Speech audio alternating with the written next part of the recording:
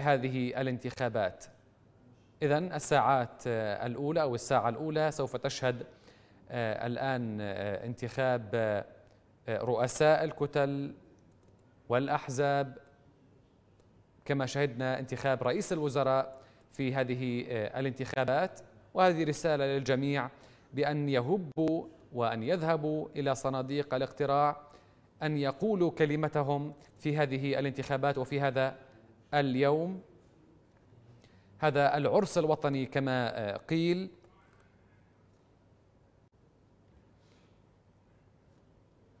إذا نشاهد الآن في هذه اللقطات المباشرة عبر تغيير وصول رئيس تحالف قوى الدولة. الآن يتسلم ورقة الاقتراع.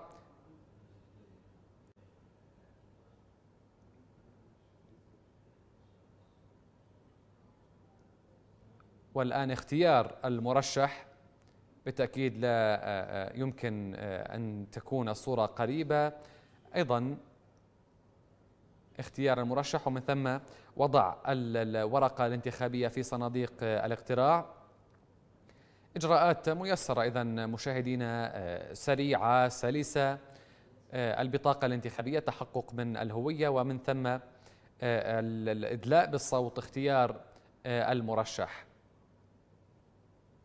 استمعنا قبل قليل إذا إلى رئيس الوزراء أيضا وفي تصريحاته الأولى في هذا اليوم يحث العراقيين يقول صوتوا صوتوا واذهبوا لصناديق الاقتراع. يؤكد أهمية هذا اليوم أهمية هذه الانتخابات وتفرد هذه الانتخابات بالكثير من النقاط التي تميزها والتي جاءت بالتالي أيضا بقانون جديد يعول أن يحمل تمثيلا أكبر لجميع مكونات وأطياف الشعب العراقي. إذا الصورة معكم الآن مشاهدينا رئيس تحالف قوى الدولة عمار الحكيم يدلي بصوته في هذه الانتخابات.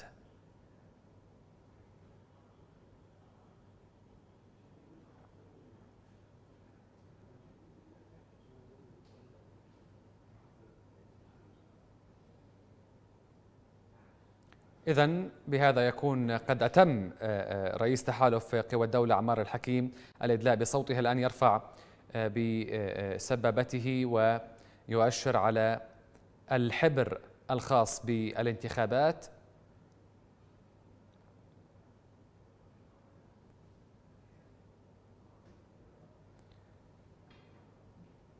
إذا الآن تصريح من عمار الحكيم. الانتخابات المبكرة التي دعا إليها أبناء شعبنا ولا سيما الشباب في الحراك الشعبي في تشرين واستجابت المرجعية وتبنت هذا المطلب الشعبي والقوى السياسية دعموا ذلك ولقي بترحيب دولي فكانت الانتخابات المبكرة التي نجدها اليوم أبارك لشعبنا هذه الفرصة وهذه الملحمة البنفسجية التي سيسطرونها اليوم. واسمحوا لي أن أقدم أربع رسائل في هذا اليوم. الرسالة الأولى لشعبنا العراقي العزيز العظيم الذي لطالما وقف وحقق إنجازات نوعية وكبيرة في الدفاع عن مصالحه وعن واقعه. المشاركة الواسعة والفاعلة والواعية في الانتخابات في هذا اليوم تمثل انتصارا لحقوق الشعب واستيفاء للحقوق. أقول لأبناء شعبنا هذا حقكم هذه فرصتكم لإجراء التغيير والاستجابة لنداء المرجعية العليا التي ليس لها مصالح شخصية ولطالما كانت دعواتها لصالح حقوق الشعب وعزته وكرامته. لذلك أن نلبي هذا النداء وأن نشارك بشكل واسع وأن نعبر عن آرائنا بكل حرية أشدد التعبير بكل حرية وأن لا نقبل لأي جهة أو كيان سياسي أو شخص ما أن يرغمنا على التصويت لشخص لشخص ولمرشح نحن غير راغبين فيه. هذا حق الشعب أن يصوت لمن يرغب به.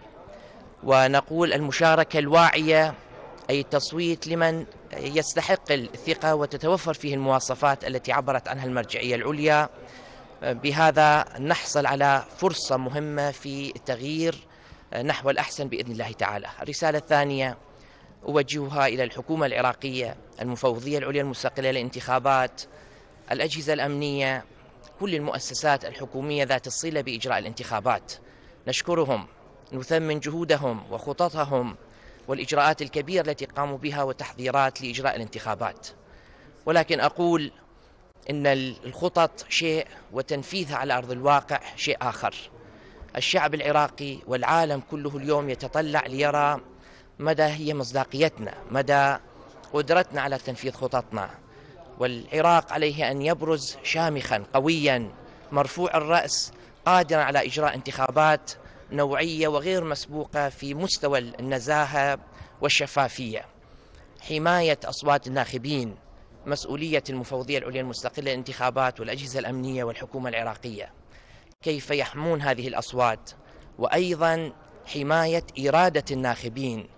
ومنع من يسعى أن يضغط عليهم أن يفرض عليهم أجندة معينة ترشيحات معينة لأي سبب من الأسباب. يجب أن يشعر الناخب أنه إذا ما صوت لمن يرغب لا يتعرض إلى أي ضغوط لاحقا. هذه مسؤولية الحكومة أن تطمئن مسؤولية الأجهزة الأمنية أن تقف بوجه أي محاولات للتزوير للتلاعب للضغط على إرادة الناخبين ومعالجتها بشكل واضح وحاسم من الساعات الأولى حتى آه، تتم العملية الانتخابية بيسر وسلاسة كبيرة. الرسالة الثالثة أوجهها للمجتمع الدولي وأقول لهم حضوركم تلبيتكم لطلب الحكومة العراقية قرار مجلس الأمن. هذه المشاركة الواسعة للمراقبين الدوليين في العراق. هي رسالة تضامن دولي مع العراق ورسالة دعم وإسناد العملية السياسية والديمقراطية في بلادنا. نشكركم على الحضور ونتمنى أن تكون هذه المشاركة وهذه المراقبة في المناطق التي يظن أنها تتعرض إلى تزوير أحيانا هنا أو هناك. وهذا ما يجعل مسؤوليتكم كبيرة للحضور ولتطمين أبناء شعبنا والمجتمع الدولي أن الانتخابات تسير بسلاسة. الرسالة الرابعة أوجهها للقوى السياسية وللمرشحين الذين يشاركون في هذه الانتخابات. أتمنى بعد أن قدم قدمنا جميعا برامجنا وتحدثنا مع شعبنا وعرضنا أنفسنا أن نسمح لشعبنا اليوم أن يقرر هو دون أن نضغط عليه ودون أن نذهب إلى أي خطوات ملتوية من شأنها أن تفسر على أنها تزوير للانتخابات أو لإرادة الناخبين. من لا يؤتمن على صوت الناس من يضغط على الناس لأخذ الصوت آه، في يوم الانتخابات كيف يمكن أن يؤتمن على أعراضهم على مصالحهم على حقوقهم على هذا البلد ومستقبله؟ لذلك أوصي القوى السياسية حتى لو كان هناك من خطط لتزوير ما لضغط ما في هذا اليوم ما دمنا في الساعات الأولى أن يعيد النظر في قراره وأن يسمح للناخبين بأن يذهبوا ويصوتوا لمن يريدون ويضعوا ثقة في من يعتقدون.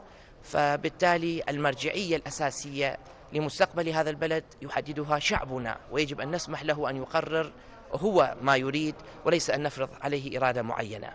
أتمنى أن تكون هذه الانتخابات انتخابات نوعية وغير مسبوقة في حجم النزاهة والشفافية وأيضا في حجم المشاركة الواسعة التصويت الخاص شارك فيه 69% من الناخبين وهذه رسالة مهمة. نتمنى أن أبناء شعبنا من غير القوات المسلحة أن ينافسوا القوات المسلحة في نسبة المشاركة وأن نسطر ملحمة كبيرة يرفع العالم القبعة للعراقيين وينحني أمام إرادتهم في هذه الظروف. أسأل الله التوفيق والتسديد للجميع والسلام عليكم ورحمة الله وبركاته.